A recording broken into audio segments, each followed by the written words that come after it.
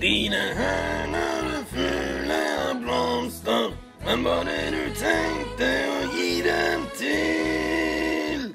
Dine blomster var plukket til Jesus. Jeg tar så hold kjeft på deg, Geir Harbers. Ja, siden norsk politikk har tatt et dypt utpust og sniffa inn så mye kokain at man kunne lage snøengler i det, så har vi sendt All Star-crewet på en kort ferie og fått inn noen av politikerne våre. Siv Jensen. Trine Skei Grande. Knut Arild Hareide. Bjørnar Moxnes. Ja, jeg vil ha en regjering med vekt mot sentrum. Du får jo ikke det. Det blir jo ikke vekt mot sentrum. Og dessuten så er Sylvi Listhaug en grevla tissefansuter av en vaginaskjæring. Ja, det er ikke greit å snakke sånn som ditt, da. Hold kjeft, da. Nå skal du høre her, din forpulte Rødt er basically hva SV var før de gikk i regjering med Arbeiderpartiet i 2005.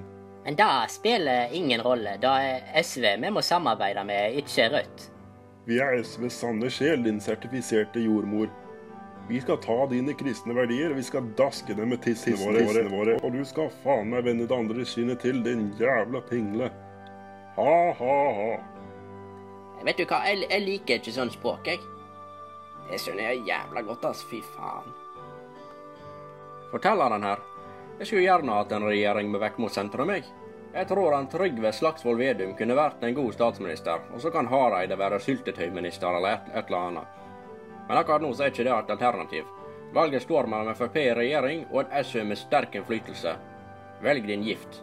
Og husk at det er en god kristen verdi å være ærlig.